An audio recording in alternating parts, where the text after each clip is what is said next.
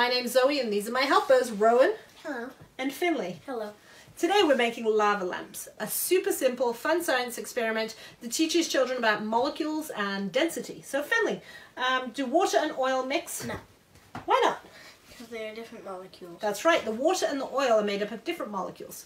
Um, Rowan, does food coloring mix with the water or the oil? The food coloring mixes with the water. That's right, because food coloring is water-based, therefore it mixes with the water. Uh, so we're going to make a lava lamp for you right now, and all you need is a jug of water, Some baby oil. Food coloring. some food coloring, and your activator is uh, a simple Alka-Seltzer.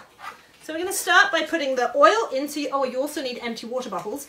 Um, if you can get a clear bottle, it's easier to see, uh, but any kind of uh, reusable, recyclable water bottle will do. Pour in the oil. We're going to go about two thirds, that's it, tip away, two thirds uh, oil, uh, stop, to another third water, and then you're going to leave the little space at the top of the bottle so that you don't overflow.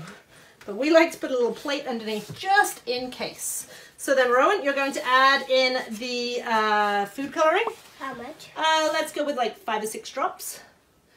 Tip it. One, two, three. One more for good luck. There we go. And what you'll see is the food coloring. Yeah, it's dripped down the side there. Finlay's just going to use a little stick to give it a stir. Gently stir it. There we go. Just set that aside. Now what you'll see is that the uh, the baby oil is where? Top or bottom? Bottom. baby oil, Oh, top or bottom. So the baby oil is now come to the surface and the water has gone to the bottom. Okay, so the water and the food coloring has mixed. Um, which of these two liquids is more dense or heavier, has more stuff in it? the water. So the water is more dense, um, and essentially what that means is that there's more stuff packed into uh, the water molecules than the oil. Okay. And so now that we have uh, our three lava lamps, see we've got some that we made earlier. We're going to show you how the activating works. So let's just move these aside.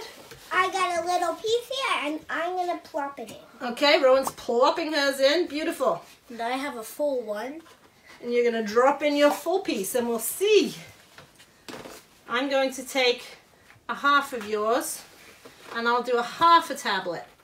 And what you'll see is that the uh, the Alka-Seltzer will start to fizz Um, and then the colors will be taken up and down uh, into the oil. We'll see the little bubbles start to rise. And, we And- put, and me and Rome put Orbeez inside. So you guys have already put some Orbeez in there. Those are little water beads. and mine are like going around in a circle. Yeah, Those like are mine. spinning in circles. It Oh, goes- there it they goes, go. It goes on top of it, and then it pushes the Orbeez up. So it bubbles then- around and underneath. The pushes. Orbeez get raised up. The Orbeez don't go all the way up into the, Yeah. the oil though. They just stay in the water. It goes up to the top, hits the top, Mm-hmm. and goes down.